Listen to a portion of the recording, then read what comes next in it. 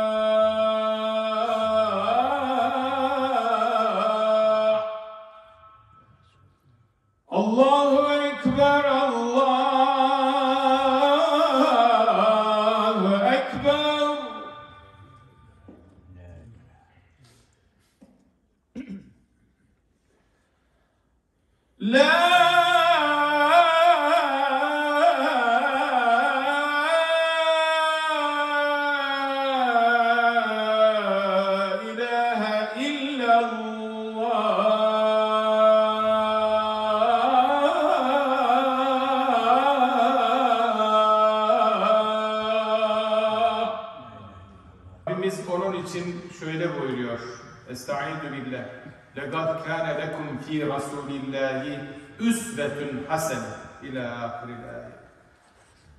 Şüphesiz muhakkak sizin için Allah'ın Resulü'nde en güzel örneklik vardır. Üsve-i hasene demek en güzel örnek demektir. Demek ki bütün insanlık için oradaki lekümden maksat tüm insanları içine almaktadır. Yani tüm insanları kastediyor.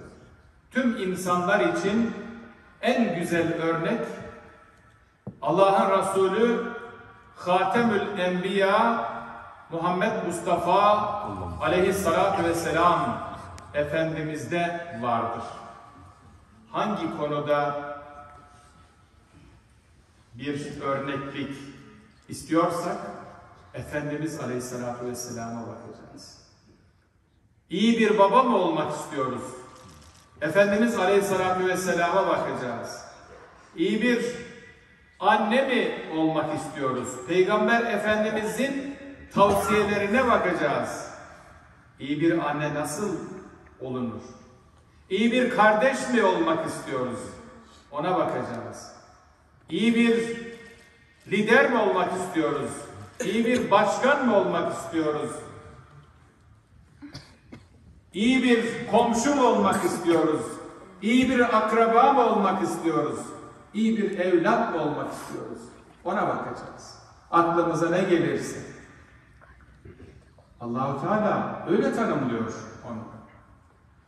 Ve buyuruyor ki Estaizu billah وَمَا أَرْسَلْنَاكَ اِلَّا رَحْمَةً لِلْعَالَمِينَ Biz seni ancak alemlere rahmet olarak gönderdik. Bütün dünya Efendimiz Aleyhisselatü Vesselam'ın alemlere rahmet olarak gönderilişinden istifade edecek. Onun yeryüzüne getirmiş olduğu Kur'an-ı Kerim'den 1400 küsür senedir dünya istifade ediyor. Ama bu istifade kıyamete kadar devam edecek. Cenab-ı Hakk'ın yeryüzüne göndermiş olduğu en büyük nimet olan İslam bir denge dinidir.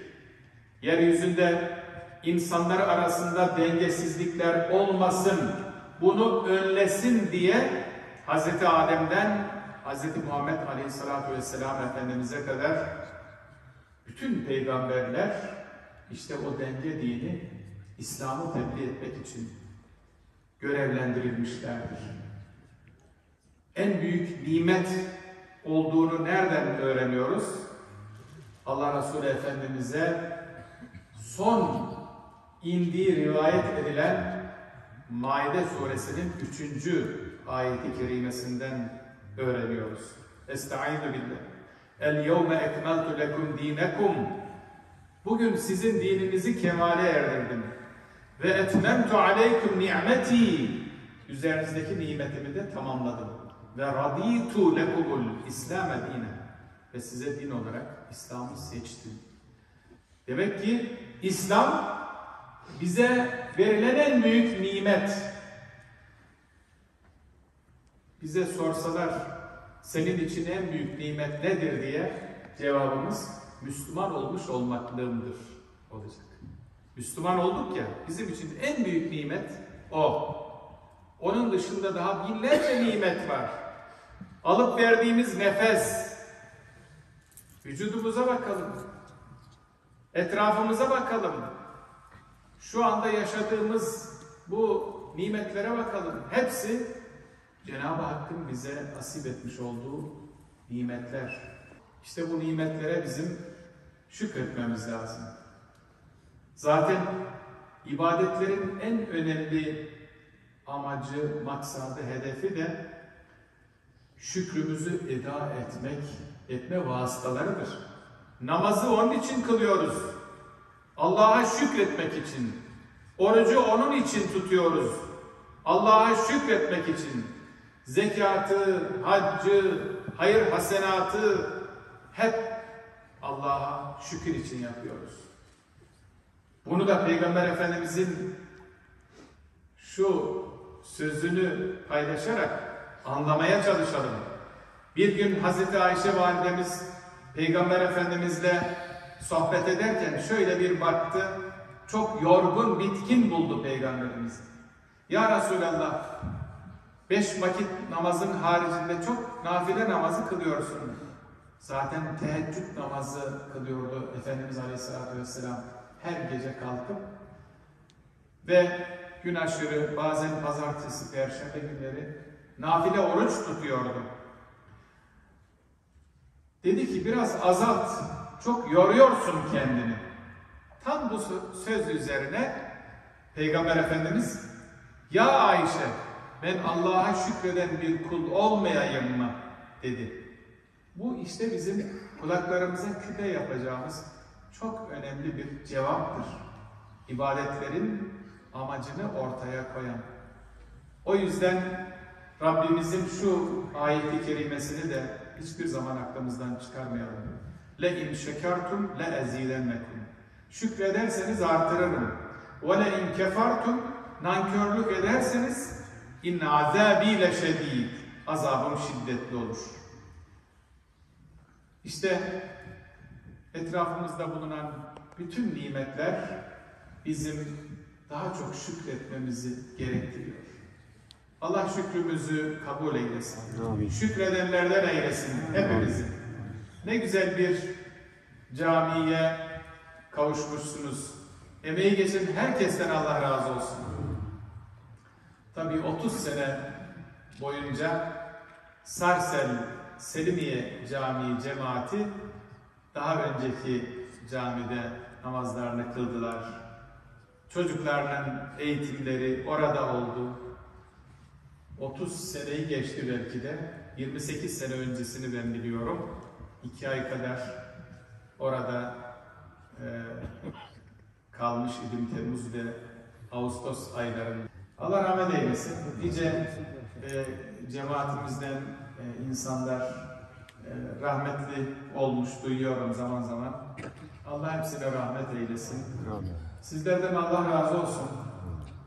E, renkleriyle, yazılarıyla, halısıyla, çatısıyla, minberiyle, e, mihrabıyla, kürsüsüyle ne diyeyim Allah hepinizden razı olsun. E, bu camide e, tek bir tuğlası olan e, kardeşimizden e, Cenab-ı Hak razı olsun. E, Cenab-ı Hak e, gençlerimizi özellikle çocuklarımızı sırat-ı müstakimden ayırmasın. Amin. Neslimizi camilerden uzak bırakmasın inşallah. Ben tekrar Mevlid-i Nebinizi tebrik ediyorum.